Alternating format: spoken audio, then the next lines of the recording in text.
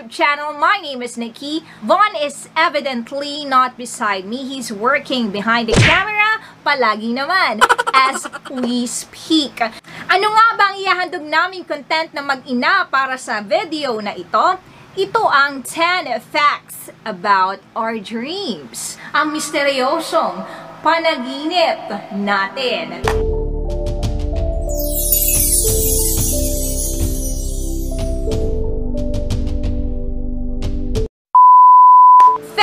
Number one.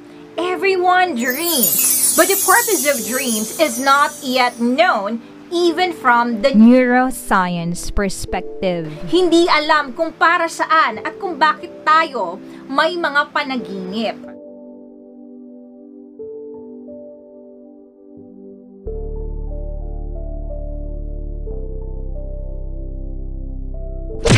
Two fact about our dreams. We dream in all sleep stages. Kahit nandoon tayo sa three stages of non-REM sleep at doon mismo sa REM sleep.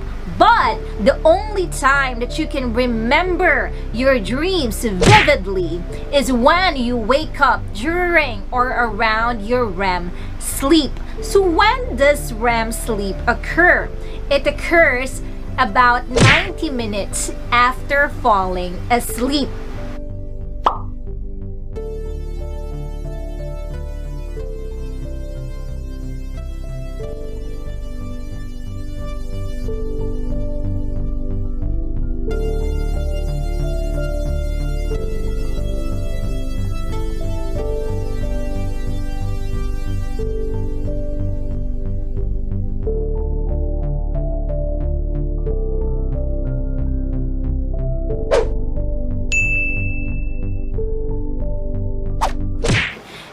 Three fact. Our body is sterilized when we dream, and this is referred to as muscle atonia. But there are some who act their dreams. This is a sleeping disorder called REM, sleep behavior disorder. It can cause harm not only to the person who's suffering from such sleeping disorder, but also to that person's sleep partner. Number four fact. The part of the brain which is active during dreaming is the amygdala. It governs our emotions and fears. This is also the reason for our nightmares. On the other hand, the parts of the brain that are shut off during dreaming are number one, the prefrontal cortex, or the one that holds our sense of self or our ego, and the orbitofrontal cortex, which holds our conscience. Okay, number five fact about our dreams. The length of our dreams can vary. It can go from the shortest time of a few seconds and can be as lengthy as 20 to 30 minutes. Number six fact. The scientific study of dreams is called oneirology. Number seven fact. I found two sources online for this one, but I would like to cite the article created by the National Sleep Foundation, which says that generally we dream at least four to six times a night. Number eight fact. Nag-wonder din ba kayo kung nakakakita ang mga bulag kapag sila ay nananaginip? Those who became blind before the age of 5 do not have visual representations of their dreams. Para naman doon sa mga tao na may congenital blindness, they may dream through taste, touch, or smell. Number 9 fact about dreams. Pwede ba nating makontrol o pwede ba nating madirektahan ang ating mga panaginip o ang ating mapapanaginipan?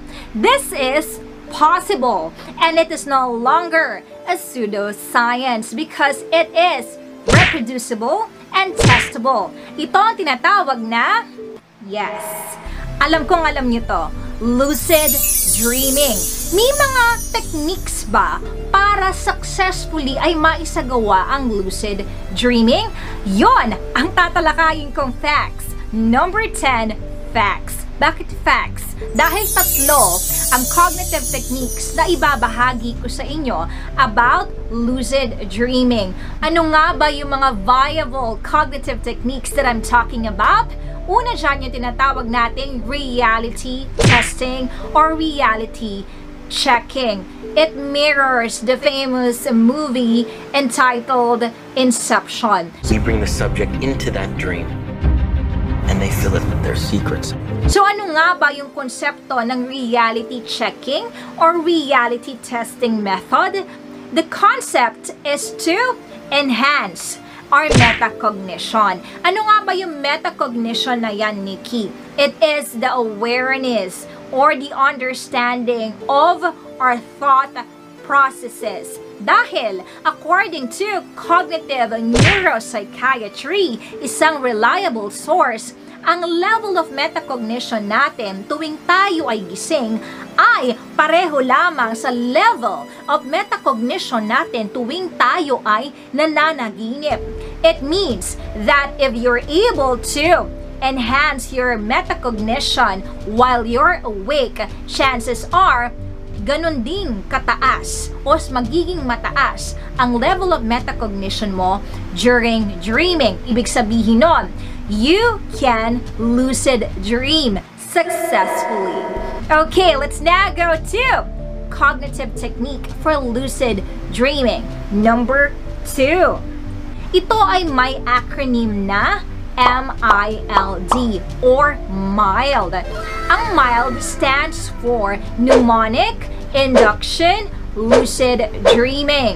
Ang konsepto nito ay base sa behavior na tinatawag na prospective memory. Ano yung ibig sabihin ng prospective memory?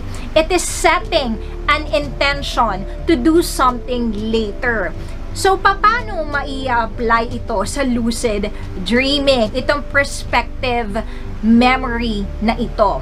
You rehearse your dream and you visualize that you're becoming lucid.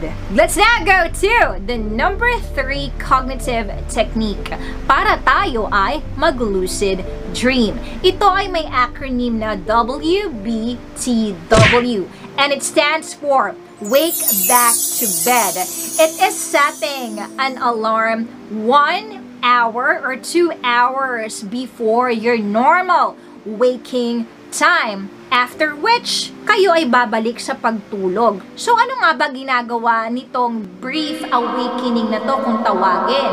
Nagkakaroon ng cortical activation ang mga key brain parts na implicated o na involve sa lucid dreaming.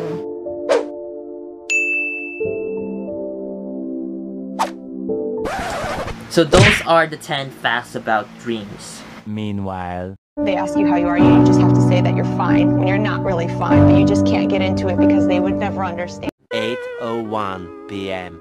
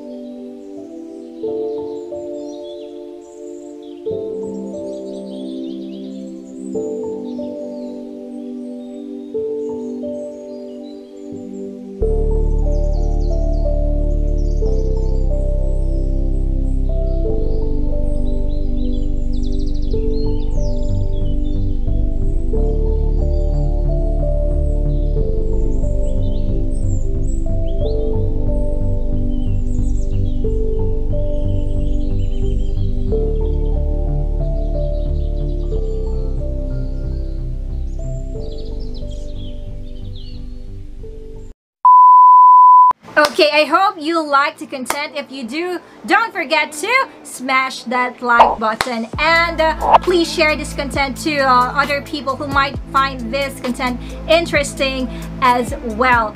And please consider subscribing. subscribing to our channel. Again, we are the creators of this channel. My name is Nikki.